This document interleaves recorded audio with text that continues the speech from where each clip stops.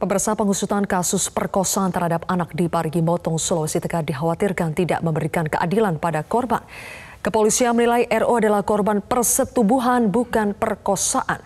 Penyidik menyimpulkan tidak ada unsur kekerasan dalam kasus ini sehingga pasal yang dikenakan pada 11 pelaku adalah pasal 81 ayat 2 Undang-Undang tentang Perlindungan Anak. Padahal menurut banyak pihak para pelaku seharusnya juga dijerat dengan Undang-Undang Tindak Pidana Kekerasan Seksual atau TPKS. Untuk mengulasnya lebih dalam sudah bersama kami Wakil Ketua Komisi 3 DPR RI Ahmad Saroni, Ketua Komisi Perlindungan Anak Indonesia KPAI Ai Mariati dan psikolog forensik Reza Indragiri. Selamat malam Bang Roni, Bu Ai dan juga Mas Mas Reza? Selamat malam, selamat malam. Baik, oke. Okay. Oke, okay. Bang Roni sudah bergabung kah? Sudah bisa mendengar suara saya? Halo, Bang Roni. Ya, Audionya udah, belum dibuka. Ah, oke, okay, sudah ya. Bang Roni, jadi sekarang kita akan bahas sudah lebih dari setahun kan DPR itu mengesahkan Undang-Undang TPKS. Tapi ketika Undang-Undang itu sudah sah penerapannya, ternyata masih terkendala aturan turunan yang belum tersedia. Apa ini yang membuat aparat penegak hukum ragu untuk menerapkan Undang-Undang TPKS salah satunya dalam kasus Parigi Motong ini? Ah, sebenarnya gini, uh, terkait dengan ter kejadian uh, anak di bawah umur ya dengan dengan waktu yang berbeda, polisi sebenarnya bisa menerapkan dengan pasal yang mungkin menurut uh, Polda Sulteng itu terkait dengan uh, bagaimana untuk menjerat lebih uh, lama uh, si para pelaku. Apa pun bentuk yang dilakukan oleh para pelaku, yang kita sikapi adalah Kapolda memberikan putusan dari penyidik apa pun namanya, baik secara uh, singkat dikategorikan persetubuhan atau pemerkosaan misalnya. Nah, ini dua bahasa yang kiranya masyarakat akan tabu mendengarnya. Karena masyarakat akan hanya mendengar, hanya bisa men menerima dengan bahasa pemerkosaan. Tidak lagi pada bahasa persetubuhan. Kalau dikategorikan persetubuhan, maka ada terjadi kontak yang mungkin dikategorikan dengan cara melobi yang bersangkutan. Tapi ini dilakukan lebih dari lima orang. Maka itu sistem yang dilakukan oleh Pak uh, Polda Sulteng terkait dengan eh, undang-undang yang akan menjerat para para pelaku adalah dikategorikan persetubuhan yang bisa memaksimalkan Eh, penjara lebih lama. Tapi menurut kita sebagai masyarakat umum yang mungkin ketidaktahuan uh, atas eh, undang-undang uh, yang berlaku atau sebutan yang disebut oleh uh, Polda Sultan lebih baik fokus kepada bagaimana untuk menjerat pelaku seberat-beratnya. Hmm. Nah, beliau-beliaulah yang tahu apa yang harus dilakukan. Memangnya kalau pakai undang-undang TPKS tidak bisa menjerat pelaku lebih berat lagi, Bang Roni? Karena karena penegak hukum harus berlandaskan undang-undang. Tidak se, tidak semerta-merta undang-undang TPPKS yang sudah ada itu bisa lebih berat. Nah, landasan penegakan hukum ada landasan undang-undang. Itu yang diberlakukan lebih berat uh, dilihat dari uh, undang-undang persetubuhan tadi. Tapi kan bedanya begini yang Bang Roni ya, mohon dikoreksi kalau salah, tapi undang-undang TPKS itu katanya kan lebih berorientasi pada korban, bahkan sampai ada pasal ada restitusi untuk korban yang ditanggung oleh negara. Tapi ketika itu tidak diberlakukan kepada korban, kepada pelaku, maksud kami, maka ya apa gunanya undang-undang TPKS itu sudah disahkan oleh DPR setahun yang lalu? Nah, undang-undang TPPKS yang disahkan uh, tahun lalu bisa dilihat dari uh, gelar yang dilakukan oleh Polda Sulteng.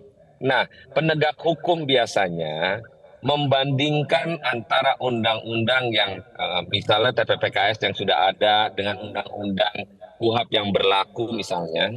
Nah, untuk menjerat pelaku lebih berat, terkadang ada pasal yang kiranya tidak membuat uh, lebih dalam, lebih uh, berat apa ininya apa uh, pidananya.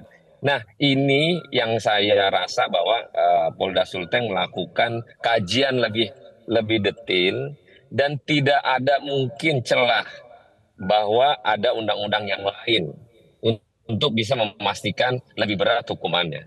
Mungkin saya rasa demikian Polda Sulteng meng, akhirnya mengambil kesimpulan pasal-pasal pidana yang diterima uh, oleh para pelaku nantinya.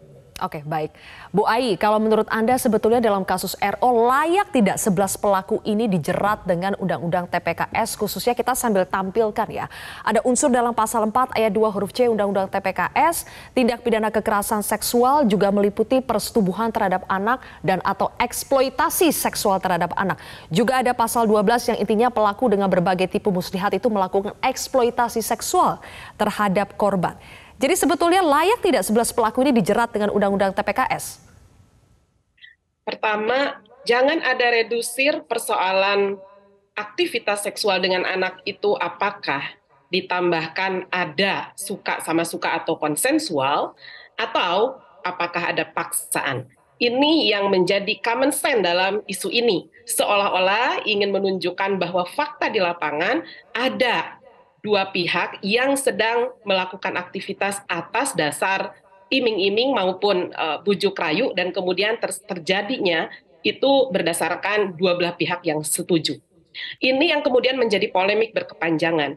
Kalau kita menganalisa di dalam Undang-Undang Perlindungan Anak, jelas sekali persetubuhan, perkosaan, pencabulan, ada data-data secara uh, apa jelas ya di situ dan sebutan dari tindak kekerasan yang dialami oleh anak ini adalah kejahatan seksual. Sebagaimana tujuh uh, pasal dari 76D kemudian 81 itu mengemukakan persetubuhan dan diterangkan dalam uh, 81 uh, 81 123 siapa pun yang melakukan ya dan di sini ada pasal pemberatan itu terlihat bagaimana undang-undang perlindungan anak memberi ya dampak secara hukum dan sangat signifikan. Misalnya kenapa pemberatan? Karena dia orang tua, wali, misalnya uh, uh, apa aparat pemerintah, aparat negara dan lain sebagainya. Kemudian apabila kita juga telah undang-undang TPKS itu juga menunjukkan bahwa uh, dan atau eksploitasi seksual itu menunjukkan ada keberulangan, ada uh, situasi yang tadi misalnya bujuk rayu serta iming-iming dan lain sebagainya. Sehingga saya justru mempertanyakan kenapa harus diperkuat polemik antara perkosaan dengan persetubuhan. Padahal jelas secara tekstual, secara kontekstual gitu ya, baik teks maupun konteks yang ditujukan oleh hasil uh, dari uh, Polda, Kapolda di Sulteng ini sudah menunjukkan bahwa pasal-pasal ini sangat uh, berkorelasi dengan uh, tindakan pidana tersebut bahkan ya. uh, hampir seluruhnya gitu ya sudah ditetapkan sebagai tersangka dan saat ini masih dikembangkan karena ada beberapa yang masih buron. Nah tentu di dalam uh, hal ini KPAI me, me, meminta supaya mari akhiri gitu, jangan memunculkan terminologi-terminologi yang seolah-olah memberikan adanya pengurangan, adanya redusir, adanya ruang-ruang pembenaran bahwa anak seolah-olah memberikan uh, apa namanya persetujuan ataupun tindakan yang uh, apa tidak dalam paksaan ataupun tidak dalam situasi yang um, apa mengalami kekerasan. Nah, ini yang harus uh, kita pelan-pelan gitu ya, bahkan harus uh, telaah lagi, bahkan kita harus jelas gitu positioning dalam hal ini baik uh, teks okay, hukum maupun uh, perspektif ini harus menunjukkan bahwa situasi dan kondisi korban harus uh, disampaikan bahwa ini adalah terjadi kejahatan secara seksual yeah. di dalam undang-undang yeah. perlindungan anak maupun undang-undang okay, Bu Ais. Jadi apa yang disampaikan oleh polisi itu kan seolah-olah ada persetujuan dari korban untuk melakukan aktivitas seksual itu secara berulang-ulang. Makanya Mas Reza, ini akan menjadi pertanyaan untuk Anda nanti. Kenapa ketika perbuatan itu dilakukan selama 9 bulan lamanya, apakah dari situ bisa disimpulkan bahwa tidak ada unsur kekerasan, tidak ada ancaman sehingga korban dianggap dalam tanda kutip sepakat dengan apa yang menjadi permintaan pelaku? Kita akan bahas lebih jauh pemirsa sesaat lagi. Pemirsa peristiwa kekerasan seksual yang menimpa RO di Parigi Motong itu terjadi dari rentang waktu April 2022 hingga Januari 2023 atau 9 bulan lamanya dengan pelaku yang berbeda-beda. Mas Reza, apakah dari situ, dari rentang waktu yang berulang lama, kemudian juga polisi bilang tidak ada ancaman, tidak ada kekerasan, yang ada adalah iming-iming pekerjaan dan uang. Apakah dari situ bisa disimpulkan bahwa perbuatan yang dilakukan oleh para pelaku ini atas persetujuan korban? ada dua hal yang perlu kita sorot. Pertama terkait dengan penggunaan istilah persetubuhan dengan anak. Karena ini merupakan kasus anak, maka kita tidak punya pilihan mengedepankan undang-undang perlindungan anak sebagai acuan utama. Ya. Nah, kalau kita buka sejak halaman pertama hingga halaman akhir undang-undang perlindungan anak, memang tidak ada kata perkosaan sama sekali.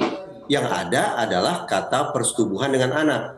Lantas di mana kita bisa temukan kata perkosaan? Pertama, kita bisa temukan di dalam undang-undang tindak pidana kekerasan seksual. Persoalannya adalah di dalam undang-undang TPKS sama sekali tidak ada definisi tentang perkosaan. Definisi tentang perkosaan adanya di dalam KUHP. Nah, di sini bahwa perkosaan menurut KUHP harus disertai dengan kekerasan atau ancaman kekerasan. Jadi bayangkan, andaikan ada persetubuhan dengan anak yang tidak disertai dengan kekerasan atau ancaman kekerasan, maka sudah pasal perkosaan tidak bisa diterapkan. Oleh karena itu, menurut saya terkait dengan penggunaan istilah persetubuhan dengan anak oleh pihak Polda Sulawesi Tengah 100% tepat. Persoalan yang kedua, terkait dengan kemungkinan adanya kemauan atau keinginan atau kehendak dari korban. Mari kita tinjau dari sudut pandang hukum. Dari sudut pandang hukum, kita tutup mata terhadap kondisi batin anak. Apakah anak mau atau tidak mau, berkehendak atau tidak berkehendak, setuju atau tidak setuju, bersepakat atau tidak bersepakat, tetap saja anak yang maaf anak yang sudah disetubuhi diposisikan sebagai korban. Ya. Sementara pihak yang menyetubui anak diposisikan sebagai pelaku. Tidak ada kompromi terkait itu dari sudut pandang hukum. Sementara dari sudut pandang psikologi, penting bagi kita untuk memahami bahwa subjek yang kita perbincangkan bukanlah balita. Subjek yang kita perbincangkan adalah seorang remaja anak berumur 16 tahun yang notabene sudah melewati usia pubertas. Ketika anak-anak sudah memasuki usia pubertas, maka secara umum pada anak-anak tersebut sudah ada ketertarikan, sudah ada keinginan, sudah ada hasrat, bahkan tempo-tempo jika tidak terbimbing secara tepat, anak akan bisa melakukan eksperimentasi seksual. Dengan kata lain, pada remaja berusia 16 tahun, tubuhnya sudah mulai bisa merasakan adanya sensasi-sensasi seksual. Sehingga, apakah ada kemungkinan bahwa seorang remaja usia 16 tahun memiliki keinginan untuk melakukan aktivitas seksual?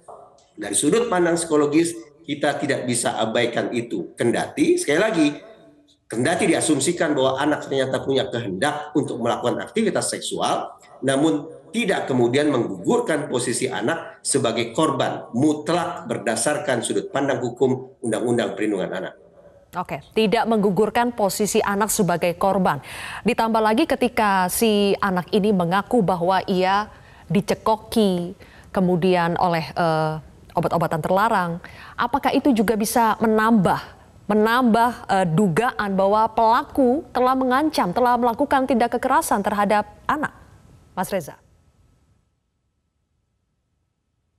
Seandainya diksi yang digunakan adalah mencekoki, maka kita bisa bayangkan ini merupakan tindakan paksaan dari suatu pihak kepada pihak lain yang tidak berkehendak, yang tidak mau dicekoki. Nah, kalau memang situasinya sedemikian rupa, semakin jelas bahwa ini merupakan situasi kekerasan. Kalau kemudian situasi kekerasan itu terbukti adanya, maka semakin kuat bagi pihak kepolisian untuk memastikan bahwa para pelaku memang sudah melakukan persetubuhan dengan anak. Itu istilah yang sekali lagi saya tekankan ada di dalam Undang-Undang Perlindungan Anak. Baik, oke. Bu Ai, kembali ke Anda. Kenapa banyak pihak yang mendorong supaya para pelaku ini tidak hanya dijerat dengan Undang-Undang Perlindungan Anak, tetapi juga Undang-Undang TPS? Itu karena Undang-Undang TPS, TPKS dianggap berorientasi pada korban. Jadi bisa Anda jelaskan lebih jauh bedanya apa kalau para pelaku ini juga dikenakan Undang-Undang TPKS daripada hanya Undang-Undang Perlindungan Anak saja?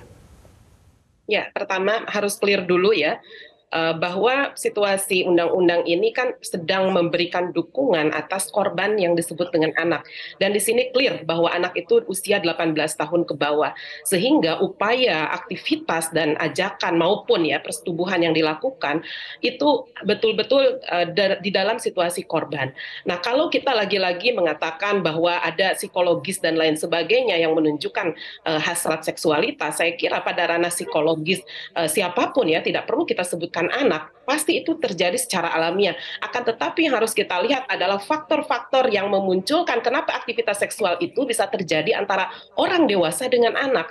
Tentu di dalamnya ada relasi kuasa yang sangat hebat dan juga situasi yang tidak terkatakan bahkan teradukan sehingga memakan waktu yang sedemikian lama dan kita harus lihat juga ada dampak resiko yang sangat fatal yaitu sakit, yaitu dia tidak uh, dengan ketidakmampuan menyampaikan kepada siapa pun pada akhirnya dia mengalami luka berat dan lain sebagainya.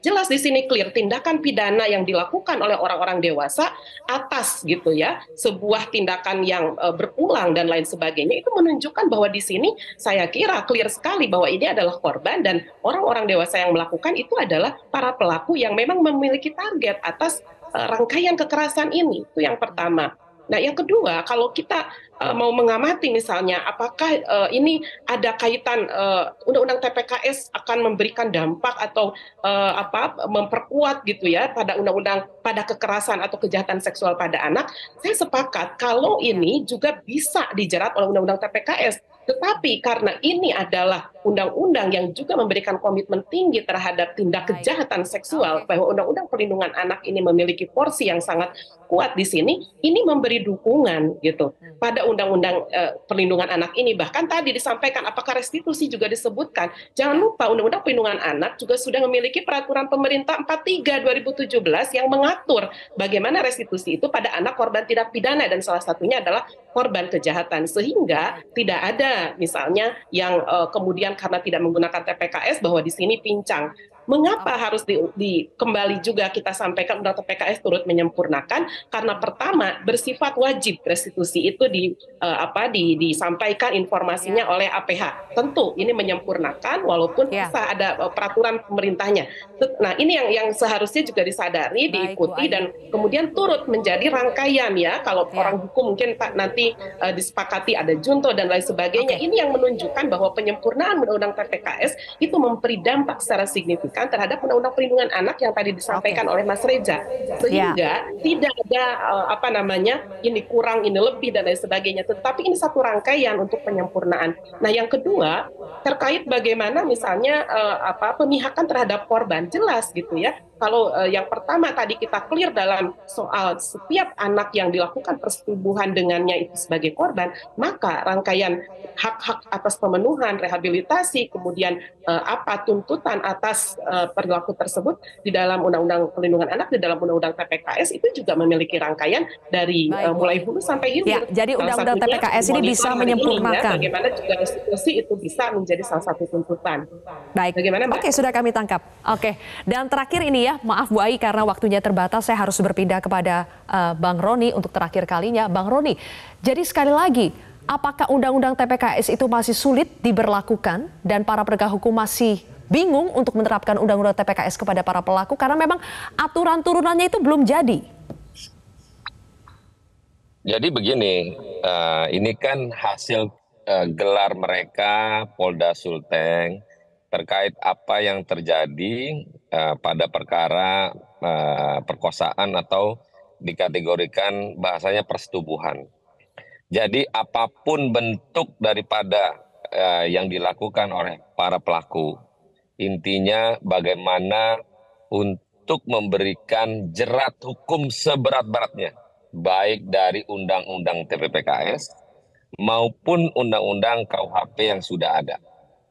Jadi kita berharap uh, Polda Sulteng melakukan sikap atas apa yang menjadi landasan hukum yang kuat untuk menjerat semua pelaku apa pun ya. bentuk undang-undangnya. Apa pun itu bentuk undang-undangnya. Itu aja yang kita minta. Tapi DPR akan mendorong tidak supaya aturan turunan undang-undang TPKS itu segera selesai supaya tidak timbul kita kebingungan di lapangan. Kita akan dorong. Kita akan dorong. Oke, sesegera mungkin ya. Terima kasih kalau begitu Bang Ahmad Saroni, Mas Reza Indragiri dan juga Bu Ai. Terima kasih sudah bergabung bersama kami di Prime News hari ini.